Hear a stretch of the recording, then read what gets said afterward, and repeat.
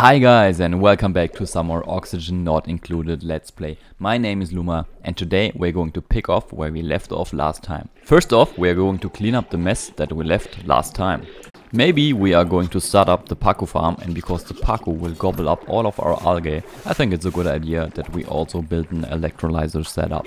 In addition to that, maybe we have enough time to build up a stone hatchling ranch setup. Future me here, we did get to a lot of ranching, but we did not build the electrolyzer. Our poor Pacu seem to be overcrowded, that's because this is a space for 4 animals and the eggs count 2. So we're going to take the fry egg and put it somewhere else, preferably in our future Pacu ranch. For now I'm planning on dropping the Pacu eggs right here.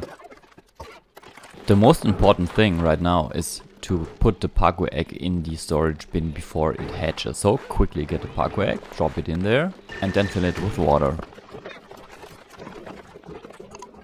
Quickly, let me explain why I built this. Each Pacu will lay one egg in their lifetime if they are not confined. It doesn't matter if they are cramped as long as they are not confined. So they will lay one egg die, leave some Pacu fillet and we can eat the Pacu fillet and another Pacu will be hatching from the egg that is laid. What we are doing right here is the manual version of the Pacu farm. Because we don't have access to the drop shoots right now, that's the version we are going with. The Pacus that we got right here will lay some eggs. We are going to collect the eggs, put them in our Pacu farm in the top part of our base. In case all the Pacu in our breeding pool will die of old age, we will take eggs from the top of our base and replace the died of Pacu with new eggs.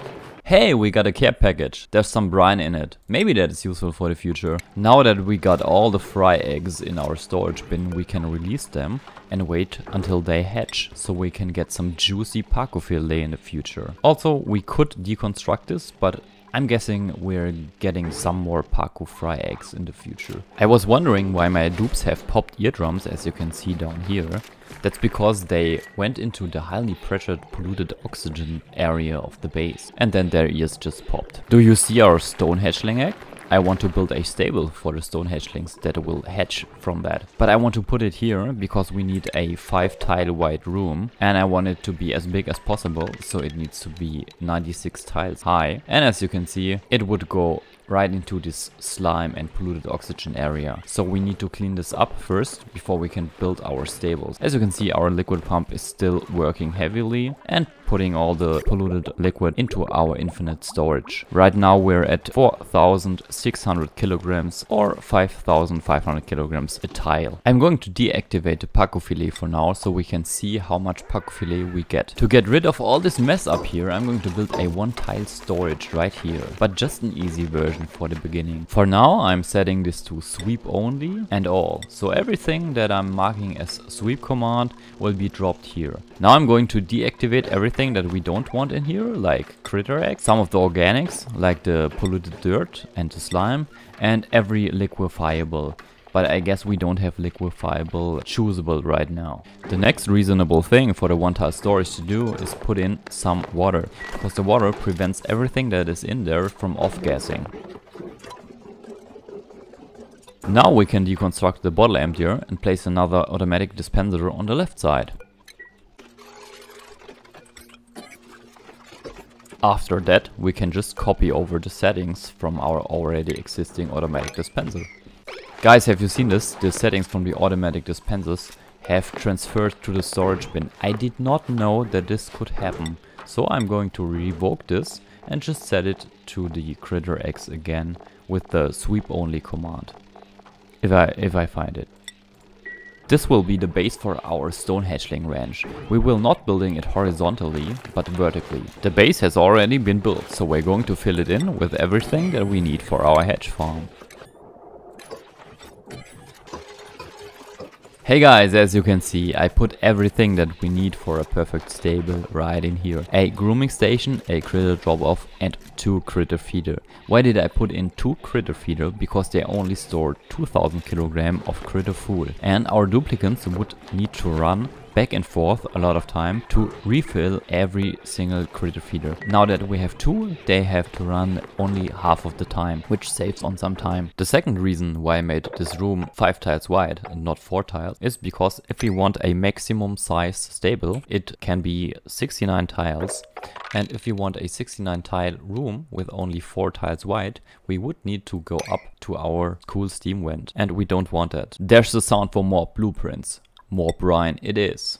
We got 5 more skill points to allocate. We got Harold, who doesn't get a skill point because he's so happy right now and he has everything he would ever need. We got Joshua who is going to be our mechatronic engineer so he's going to get the improved tinkering. Mary is one of our two designated builders as well as Abe so she's going to get the improved construction trade. Mima, Mima is our critter ranger and designer. So I think it's a good idea to put her in design, but since we don't build anything right now, we can skip on that for the future. Travaldo I have no clue what Travaldo does, so I'm going to take a look at that. Travaldo's reason for existing is cooking and researching. So we are either putting him in research or cooking. So back to the skill allocation. Travaldo is going to get some more of this researching traits. I think we are putting him in astronomy because we already got an atomic researcher. I want this stable filled with stone hatchlings. So I'm going to set this critter to... Oh, I can't set it to stone hatchlings because we haven't unlocked them yet because there isn't any stone hatchling in the base that's already hatched. So the priority for now is hatching a stone hatchling. Therefore, we will need a incubator and for the incubator we will need more refined metals. So I'm going to our rock crusher and going to crush some copper ore to copper. As you can see right now I'm building the incubator as well as a cycle sensor and a cable that connects them so I can set them to stone hatchlings and incubate them continuously. Now I just need some power and it should work fine. Now that everything has been built, I'm going to set the priority to 9, so that the first thing our ranger will do is go there and hug our egg, so it gets the bonus and will hatch faster. Therefore, I'm going to set the cycle sensor to active duration of 10% and active time of 10% so it doesn't run the whole time and we save on some energy. Here you can see our emergency system kicking in. As you can see our batteries are way too low so Abe and Burt had to run on the manual generator to get them back up again. I guess it's time to build a second coal generator so our smart battery gets filled faster. The second coal generator has been built, so we're going to add the automatic wire to that one too. Also set the priority to 8 as well and the priority of the cable building. Come on. I'm going to expand our ladder system upwards and I'm going to build it out of granite because there's some granite on the floor so they don't have to run and get the sandstone to build these ladder tiles. Why I'm building ladder is because I want this polluted water down here and sucked up to our infinite storage. Also, it's time to clean this mess up and use this room for our stables. To speed up the process, I put in a second incubator and as you can see, the cycle sensor is set to 20%, so it starts when the first ends. The effect of Mima coming by and hugging the eggs can be seen if you check out the Lullabite trait. This stone hatchling egg, for example, has an incubation rate of plus 400%. And this stone hatchling egg does not. Got another care package. Maybe we take the Shine Nymph eggs and build a lamp out of it or something like that. I'm going to place the Shine Nymph eggs in the storage bin that I placed right here, so that our bristle blossom get more light. We finally got rid of all the polluted water. We sucked it up with our pump and stored it in the infinite storage. Now we have some space to build for our critter ranch. As you can see I expanded it already a little bit. But there's a lot of polluted oxygen with slime lung up there. So I'm going to place deodorizers there until they cleaned it up to clean oxygen. And then we're going to expand further.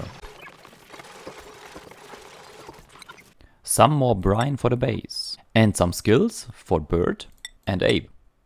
Because I also want to expand the base downwards, I put a pump here to get rid of all this pesky polluted water and to prevent the base from being filled with polluted oxygen, I placed two more deodorizers here and locked them off by a manual airlock. I connected the pump to our already existing system with our liquid shutoff and our filter, so it gets stored in the infinite storage. To the left of the base we can expand our power shed, get rid of the polluted water, and then we can make our base insulation upwards bigger and dig out all of this slime, algae and some of the aluminium ore. We have our first stone hatchling, so we can transport him to the stable. In the stable I set critter to stone hatchling and the food that the stone hatchling gets as well as when he is in his adult form. He, he will be a regular stone hatch. He will eat igneous rock. Stone hatchling, igneous rock 2 and then we copy the setting over and set this critter drop off to all critters, but the auto wrangle surplus to zero critters. That means when there's even a single critter, it gets auto wrangled and put to the next drop off with a higher priority. I set Mima's priority away from farming and towards the ranching skill. All of the Pacus have died of old age. We just have one fry egg left. But don't forget about our Pacu up here. They are glum and overcrowded, but they will still lay one egg in their lifetime. So we have a couple of eggs here. We are using these eggs to repopulate our breeder cell. Even more shine nymph eggs. Let's repopulate our Pacu breeder. I put a storage bin in there and now we're going to fry egg set it to 3 kilograms and I hope that I take 3 eggs and putting them in there. Everything worked as intended. We now have 3 eggs from the Pacus and can deconstruct our storage bin again. That should repopulate our Pacu breeder. If we are lucky, these Pacu are already tamed. If not, we need 10 more cycles and a lot of algae to tame them again and they will lay more eggs for our one-tile Pacu farm up here. As you can see, I made a bigger recording jump here because all I had to do was remove the polluted oxygen and polluted water, dig up some tiles, we have a lot of material now, as well as some space for more contraptions, and I swept up a lot of these materials that are lying around. Here you can see Mima doing her work and hugging the eggs. We got three of these stone hatchlings now, as well as more eggs from our farm down here, and our fish farm is filled to the brim. For the next care package we got two more duplicants and two more seeds. It is about time to take in another duplicant, but I don't like the duplicants that we have right here, so I think I'm going to take the balm lily seeds. We have a small pocket with more polluted oxygen and polluted water down here, so I placed a pitcher pump on top of it and set the bottle emptier to enable auto bottling. So the duplicants will get the polluted water, dump it here, it will get sucked up, placed in our storage tank and end up in our purification room sooner or later. Now that we have the space, I want to build another Great Hall and a kitchen to the left of it. This will be the layout of the new Great Hall. I'm not sure about the kitchen yet, that's why I left this empty for now. The new Great Hall has been built. I disabled the water cooler so the duplicants don't waste any water. And now we're going to fill our flower pots with some more of these briar seeds. And one Buddy Bud seed and whatever we have left. Our Shine Nymph room looks amazing by the way. And look at the decor overlay. We got more care packages, and as you can see, this time we got an interesting dupe in Turner. Turner has three different traits that he is good in, and three different interests. He's a pacifist, so he can't attack, but that doesn't matter. So Turner, welcome to the base. For the beginning, Turner will be our farmer, so he can tend to all of our mealwood. We need another cot for Turner, so I'm going to deconstruct these tiles, dig up those two, and place a cot right here.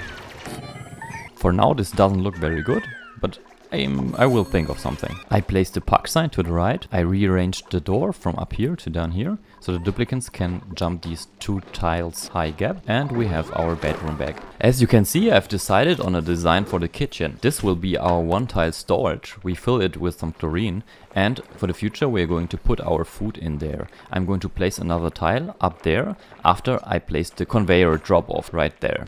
This will be the place where we drop all the eggs. The critters will hatch, they will die, or we will take the eggs out, make some omelette out of it, or we will put it in our incubators, which I will be putting down here. The problem right now is, as you can see, we don't have the drop off here, so we have to research it. And as I already seen, the drop off needs some special kind of research, which uh, seems to be from the DLC, so I don't know where we can get this. Ah, I found the symbol. So we need to research the crash plan first, so we got the capability for orbital research, which seems like a lot of work for a tiny piece of equipment. but well, it has to be done. As you can see, our base has been heating up quite a bit from the transformers and from the coal generators, as well as um, from outside heat. So it could be a good idea to start the cooling sooner than later, because our mealwood will only grow until 30 degrees Celsius, and right now it is 26.7 degrees.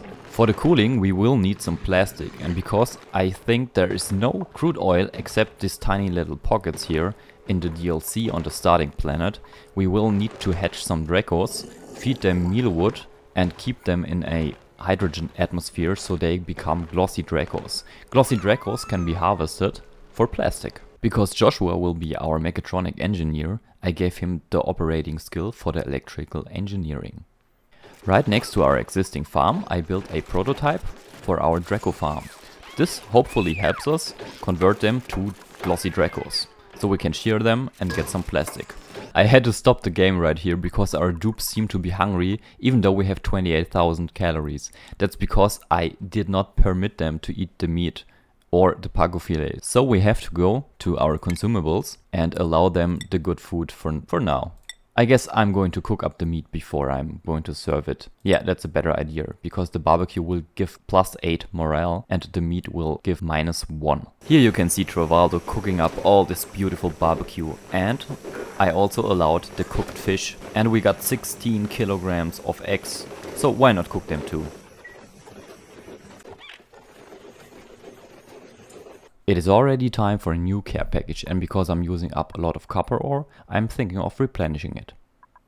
The farm area is done, so we just have to catch a Drecko and put it in there, as well as a lot of hydrogen for the top layer, because only when the Dreckos are in hydrogen they will grow back their scales. Here we have a wild Drecko, let's see if we can catch it, wrangle it up and put it in our farm. Look how unhappy he is. In order to get some hydrogen for our Drecko farm, I'm going to build this spaghetti pipe for our gas. Here's the hydrogen. I'm going to put a gas pipe right there. And the duplicants, after they finally build our ladder tiles, will suck up the hydrogen, transport it all over the base and release it in our Drecklet farm. The reason why I chose the hydrogen up there is because it is reasonably hot, 36 degrees. But the hydrogen down here has 40 degrees and the hydrogen here is at almost 60 degrees. I replaced the mesh door next to Turner's bed with a mechanical door so that the light can't go through and he sleeps better. Another very important thing that I forgot to do was disallow to harvest those plants because I said disallow because the Dreckos will eat the uh, mealwoods only in their plant form, not when they drop down on the floor. So these duplicants harvesting them is not helpful right now. Please go away, Burt, and Turner go away too. For the next blueprint, we got Water, Muckroot, Max, and Gossmann. Max is a pilot, which could come in handy, but he's a slow learner. We got Gossmann. Gossmann is great at excavating, also buff. The water could be cool, so we could use it for cooling, maybe, we don't know. And the Muckroot is just 4,800 calories, but we got 68,000 as you can see up there. So I'm thinking of taking the water. We have so much stone hatchlings now and stone hatches and eggs that we need to start up a second farm.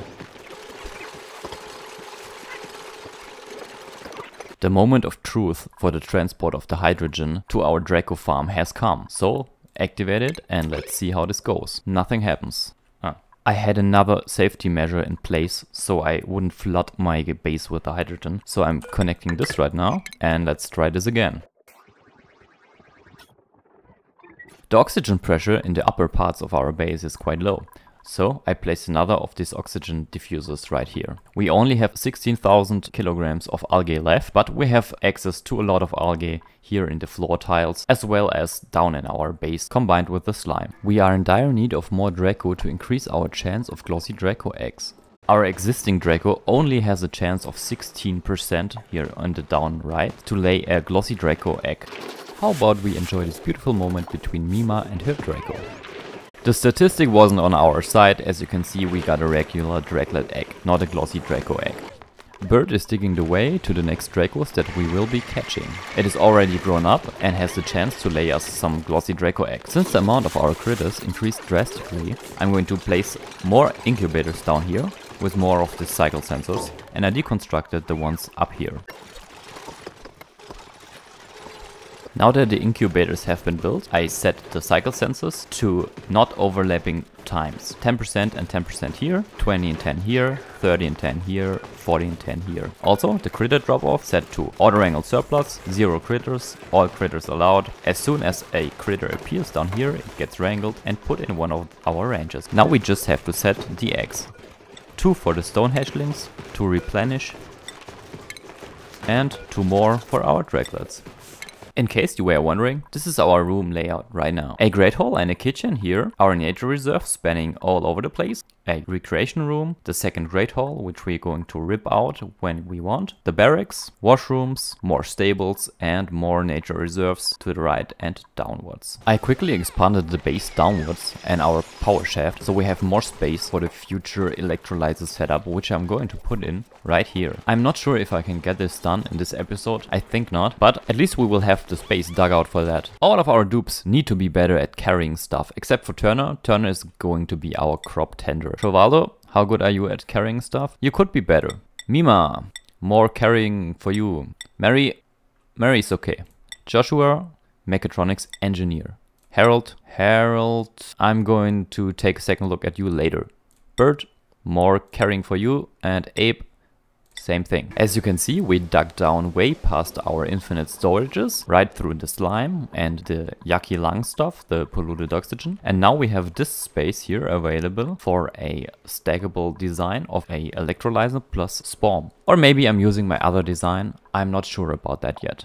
And with that being finished, it is already time for the recap. So let's check what we did today. We collected a lot of fry eggs from our Pacu breeder, some off screen, and place them in our Pacu farm, the one tile storage up here. We managed to build two vertically stone hatch ranches. And next to that is the area where we tried to produce a glossy Drecko egg. We built a total of 4 incubators, each incubator set on its own cycle sensor so that don't waste too much power. The space down here is the future critter drowner and this is our food storage. We also designed a second great hall. The power shaft got expanded upwards and downwards and next to it we dug up a lot of room so we have space for future buildings and contraptions. To see the base from a different perspective we can take a look at different overlays. For example power, temperature, the gas overlay, illumination, liquid and gas piping, our decor level, the pesky germs, the never used harvesting overlay and our rooms that we built. For all the people that reached to this point, thank you very much. Have a nice day and I'll see you in the next one. Love you guys and Luma out.